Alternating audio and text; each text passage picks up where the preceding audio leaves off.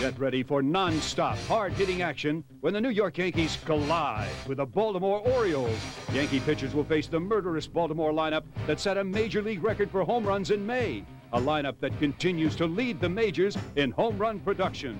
But the Yankees are playing tough, led by clutch hitter Willie Randolph and Yankee RBI leader Gary Ward. So don't miss the fireworks when the Yankees aim to ruffle Baltimore's feathers. Tuesday night at 7.30 on WPIX Channel 11.